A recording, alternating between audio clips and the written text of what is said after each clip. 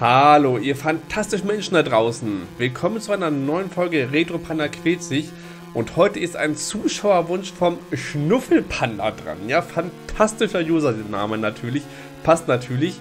Und äh, dieser Zuschauer oder Zuschauerin hat sich Godzilla für den Gameboy gewünscht ein ja, interessantes Spiel, würde ich sagen, was auf jeden Fall äh, gut in diese Serie passt. Und zwar ist das auch eines der wenigen Spiele, die in meinem Gameboy Gurken Buch besprochen wurden, aber für die ich noch kein Video gemacht habe.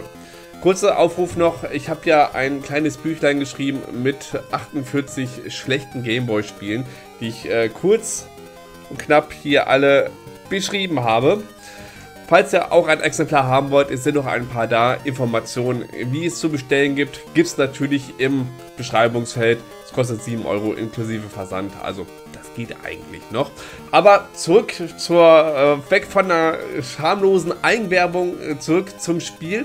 Und zwar, das Spiel ist äh, aus einem Grund in diesem Buch gelandet und deswegen hat sich der Schnuffelpanda vielleicht auch gewünscht.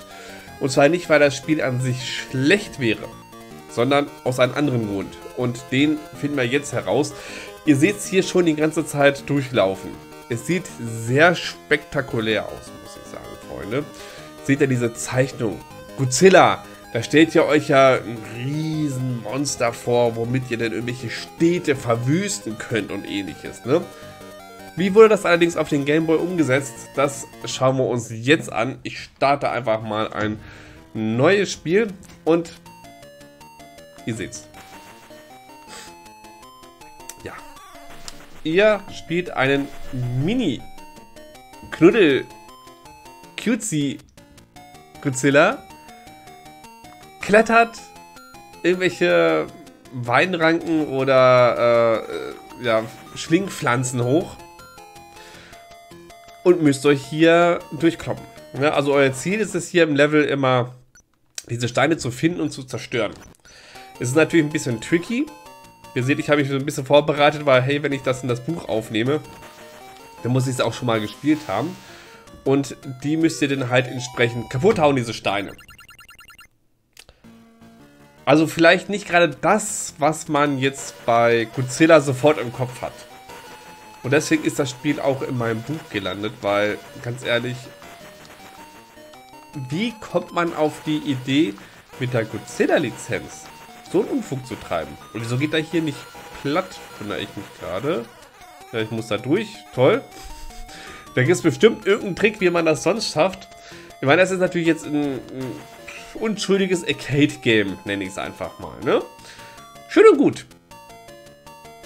Aber, Leute, das könnte man mit, mit, mit sonst was machen. Da, da könnt ihr, keine Ahnung, ein kleines Männchen Indiana Jones rumlaufen lassen oder keine Ahnung was. Selbst Indiana Jones würde da ein bisschen mehr Sinn machen. Irgendwie, keine Ahnung, Tempel äh, erforschen oder irgendwie sowas. Aber Godzilla, der König der Monster. Warum? Warum, Freunde? Und ich frage mich gerade hier ne, mit dem Level, ich komme hier nicht weiter. Ach, da unten. Ey, nee, ne? Jetzt muss ich da jetzt nach ganz unten, um das Level hier abzuschließen. Was für ein ödes Leveldesign ist das denn jetzt? Ich bin jetzt die ganze Zeit hier hochgelaufen, um oben einen Stein kaputt zu schlagen. Nur wieder noch komplett unten. Das ist doch wirklich hier designt wie ähm, das Überflüssigste überhaupt. Ne? Also künstlich langgestreckt von einem Bildschirmrand zum anderen. okay. Also ich, ich lasse ich lass immer noch mal die Meinung offen, äh, ob das Spiel jetzt an sich wenn man das jetzt von, von, von, ich sag mal, Godzilla jetzt frei nimmt, gut ist oder nicht, ne? Aber Leute, Leute, nein. Guckt euch mal, so verdenken, sie haben es ja versucht. Sie haben es ja versucht, irgendwie das, das in schöne Grafiken zu packen. Ihr habt das ja im Intro gesehen, wo die ganzen einzelnen ähm, Untermonster, nenne ich es mal, vorgestellt werden. Ne? Das sieht alles klasse aus. Das sieht alles klasse aus. So, schaue schau ich mal hier so runter. Also sie konnten, Grafik konnten sie. Hm, kann ich das hier durchhauen? Nee, schade. Kann ich das hier kaputt hauen? Nee, das ist anscheinend nur durch die Steine. Ich weiß nicht. Äh, übrigens, äh, ich hab's... glaube, ich habe mich jetzt hier in eine Sackgasse manövriert. Das war wahrscheinlich falsch, nehme ich mal an. Ihr seht es vielleicht, ich habe eine neue Aufmachung. Ja, und zwar äh, habe ich mir mal äh, durch einen sehr, sehr guten Künstler, äh, Pixel-Künstler, mir neue Rahmen erstellen lassen. Ne? Wie ihr seht, hier ein bisschen aufgehübscht. Das Grundschema stimmt natürlich schon. Ähm, hier schön ist so ein 90er-Jahre-Design und äh, dass, das, äh, dass das Spielcover natürlich auch mal ein bisschen schöner präsentiert wird. Äh, und ich komme, ich glaube, ich hätte hier so drüber klettern müssen, ne? Ich, ich habe mich verbockt. Kann ich hier irgendwie resetten? Warte.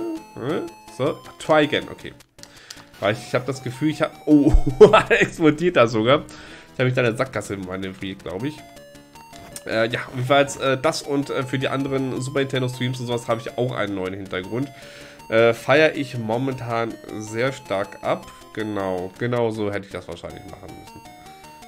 So, zack. Also ein bisschen Puzzle-Elemente sind dabei. Ähm, wie gesagt, ich finde es halt jetzt nicht so schlecht, aber es ist wirklich nicht das, was man von Godzilla erwarten würde.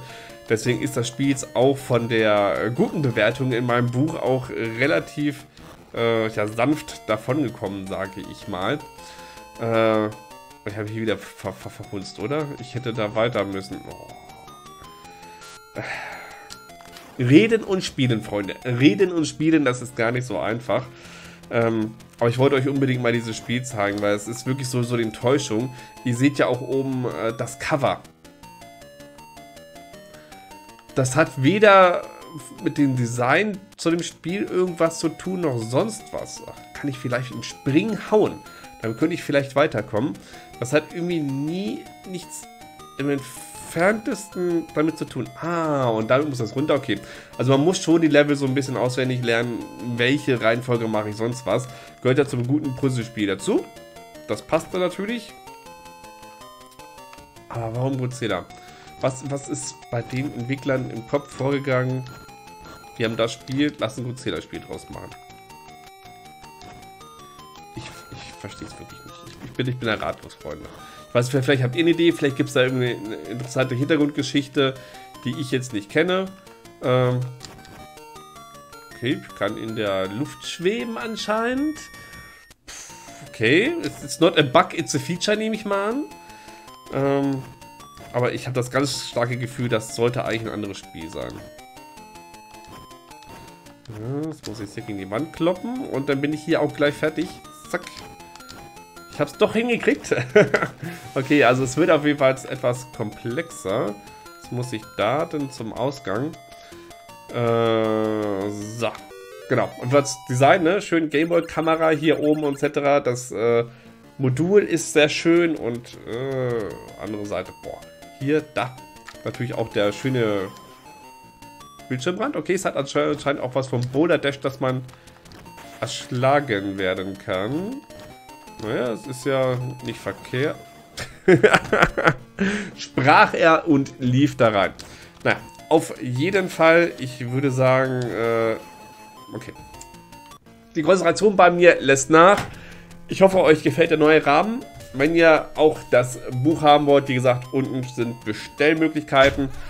Und das Spiel an sich, wie gesagt, es ist nicht schlecht, aber es ist einfach nicht das, was man auch im entferntesten auch nur erwartet. Aber hey, ein netter Puzzler, schätze ich mal, worauf man sich durchaus einlassen kann. Schön, dass ihr reingeschaut habt. Ich wünsche euch noch eine wunderschöne Woche, egal was ihr noch vorhabt. Macht's gut. Tschüss.